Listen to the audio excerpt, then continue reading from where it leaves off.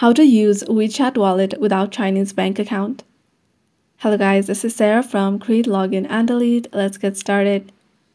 First, go ahead and open the WeChat app. Make sure that you are logged in and then click on your profile icon at the bottom right corner. Click on Settings and at the very bottom you'll see Help and Feedback. Click on Help and Feedback and then select Send Feedback at the top. So select your platform. Next, select your region Next, select your category and then provide information about your issue. So go ahead and write that you are not able to use WeChat wallet as you don't have a Chinese bank account and you can add as many details as you want. You can upload a screenshot and at the bottom make sure to enter your WeChat account and your email and then select where you want to be contacted. So at the very bottom, click on submit. So there are certain requirements to open account without a Chinese bank account. You have to have a password or national ID. You have to have a valid phone number to receive OTP. You have to have a MasterCard or Visa card of your country.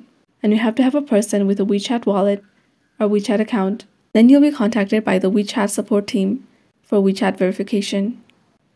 After that, you'll be able to use WeChat wallet without Chinese bank account. Thanks for watching till the end and don't forget to like, share, and subscribe.